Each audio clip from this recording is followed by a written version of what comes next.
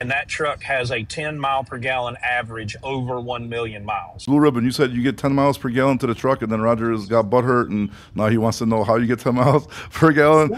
Well, I know a guy, we, we know a guy named Steve Cron that's got a 2001 International that he's done a bunch of crazy aerodynamic work to.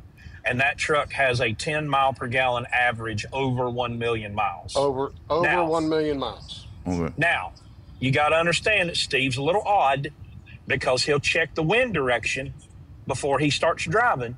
You know, so he's a he's a very very special case. But he the the bottom of his trailer looks like a race car, but it. it does have a 10 mile per gallon average over 1 million miles.